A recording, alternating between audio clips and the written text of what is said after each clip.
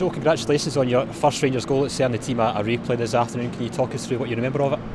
Uh, yeah, it's been. I think it was Kenty swung it in over the back post, and Connors just missed it, and I've just volleyed it in in the back stick. Um, it's been a long time coming, I think, for me to get on the score sheet. Um, we practice them every day, and we work really hard, and we're a big physical side. So um, thankfully it came off today. It came at an important time in the game as well, given the, the first half. What was the, the manager's message at half time? Yeah, we weren't good enough in the first half. I think they um, they pressed us high. Um, obviously, you know, we like to get on the ball and play. Uh, the pitch was a little bit sticky and bobbly, but we've got confidence to do that. Um, but yeah, second half, I think we came out a lot, a lot more physical, a lot stronger. Um, got the goal, could have gone and nicked it, and so could they. Griggs has made a couple of really good saves.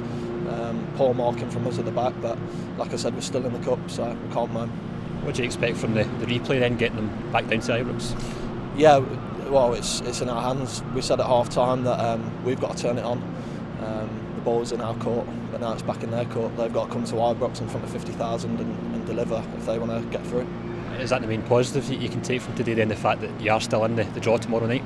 Yeah, well, we've not lost for, was it six, seven games. Um, defending really well. Uh, obviously, they scored a penalty today. We've not scored, uh, conceded from open play from for a few games. We just need to be confident, um, play the attacking football whenever we can, and match their physicality because I think that's the, their main weapon, obviously, in both boxes. So it's nice to to get a goal today and uh, still in the cup. And you did touch on the, the man behind you, Allan McGregor. Fantastic save from him, and I guess unlucky not to get the penalty as well. He's been in great form.